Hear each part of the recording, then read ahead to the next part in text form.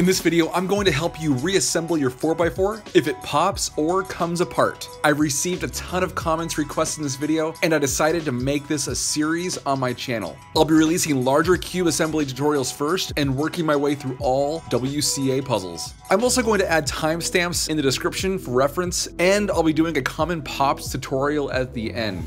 Real fast, if you find this helpful and want to see more content from me, please hit that subscribe button and bell to be notified of upcoming videos. With that said, let's get to it.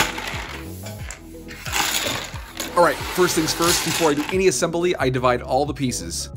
I like to have all my brackets together so I can easily grab them. I'll be showing you how I assemble a magnetized cube, but I'll also show you tips on how I assemble non-magnetic cubes as I go. So starting with the core, don't be alarmed at all those loose pieces on the centers, they do serve a purpose. When I build my first layer, I don't bother with centerpieces. I just find they're easier to do at the end, and I'll show you why. For now, take the yellow layer edges and corners and start assembling them. If this wasn't magnetized, I would take tape and then I would tape all the edges and corners as I go. Please keep in mind, don't tape one of the sides and I'll show you why. Again, as you're going, be sure to put the large edge bracket in each edge slot. Once it's all assembled, pull apart one of the sides, and again, this is the non-taped side, and reassemble them around the core. If you're using tape, now you can completely tape all four sides to keep it stable. You'll know this step is complete when the brackets on all the outside pieces look like so. The next step can be a bit tricky and requires a little bit of practice. You'll need to take four of the smaller edge brackets and insert them in. I always start with two, and how I do this is I misalign the core, exposing the edge brackets. You'll need to make sure the lip of the piece is up top, like so. Carefully put the pieces in and don't worry if the lip bracket isn't secure. I always start with corresponding brackets since they oppose one another for stability. Now I take one of the finished sides and I add center pieces and edge pieces. This ensures the bracket stays in place. Again, if this was non-magnetic, I would do the exact same thing, only I would tape each side as I go. Now I insert on each side of the cube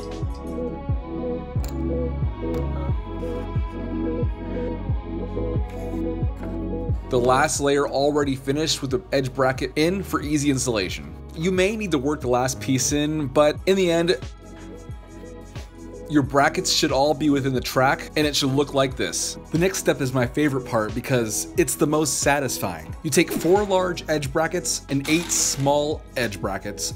I start by placing all four edge brackets in place like so. It should look like this. Now I take the smaller edge brackets and insert them around the piece like so. In the end, it should all look like this when it's done. Keep in mind, the bottom layer still doesn't have centerpieces, so don't squeeze the cube too hard or it could explode.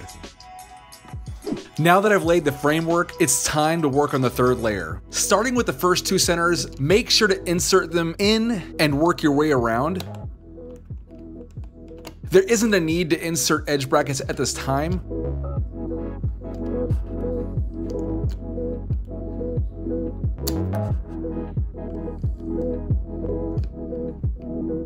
Once they're all in, you can start inserting the small edge brackets in like so with a lip facing down.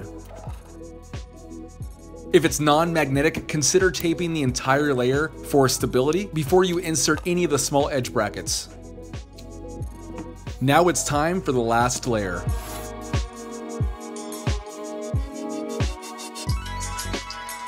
To get all the pieces put in together properly, start with two edges and two corners and make sure to get the larger edge bracket in place between the edges before you insert. Once you get it in, take a smaller edge bracket piece and insert it with the lip facing down like so. You may need to do this carefully, again, with more practice. Once it's in, though, you're good. Now, take another edge set with large edge bracket. Before you insert a small edge bracket, place a white centerpiece in place.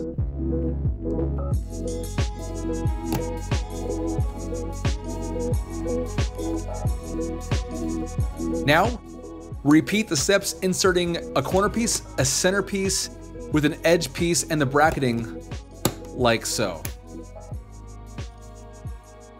Once you get to your last edge piece and last two centers, it's best to prep the edges before completing the last layer. Now, you're ready to take the last two centers and insert them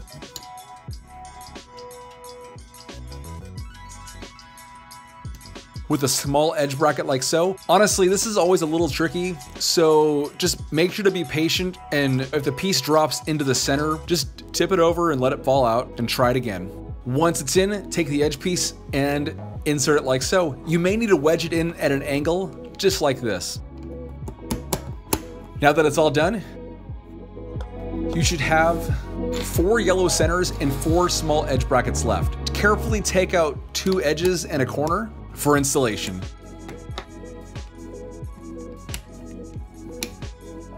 A small edge bracket into place with an edge and make sure to work your way around.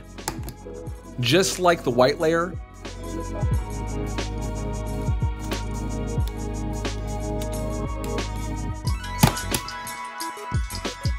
once you've worked it in all the way around to the last two centerpieces and edge, make sure to get that small edge bracket in place. And again, it could take some time, so be patient with it. But once it's in, take the edge piece and insert it like so. And again, you may need to wedge it in at an angle.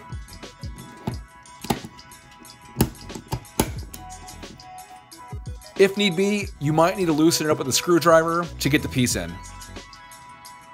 And now, you're all done. Congratulations. I hope this was helpful to you and be sure to share this video to someone who has a 4x4 and needs help assembling. Now I want to go ahead and show you how to fix a center pop. If you find that a centerpiece is popped out, make sure that the small edge brackets on each side are in place. If this is the case, all you need to do is point the piece in between the brackets and insert.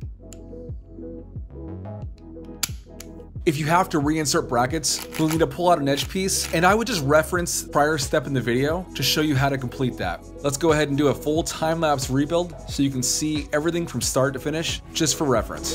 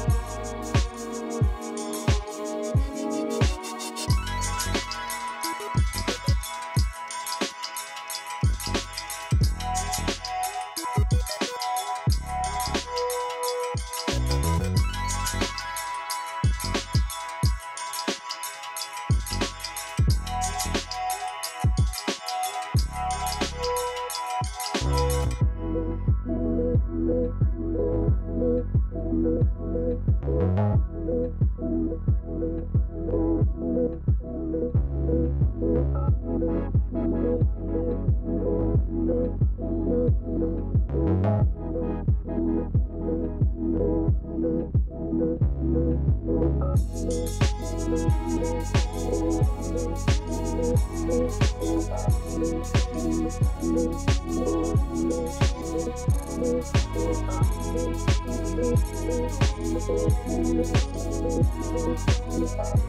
you.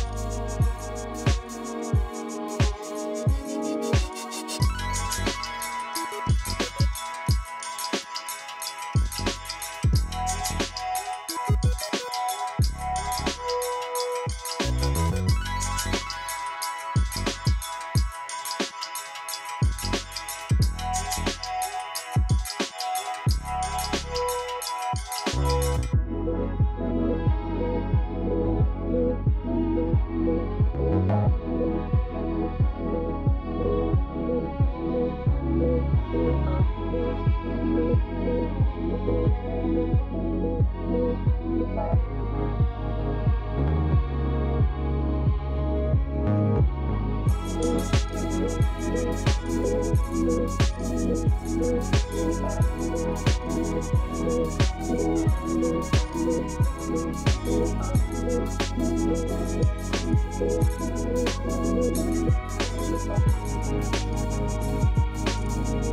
you're new to the channel, be sure to click that subscribe button as well as the bell to be notified of upcoming videos. Be sure you're also using discount code HERO at checkout for any and all speedcubeshop.com orders. Don't forget to give this video a like as well as comment any thoughts or questions below.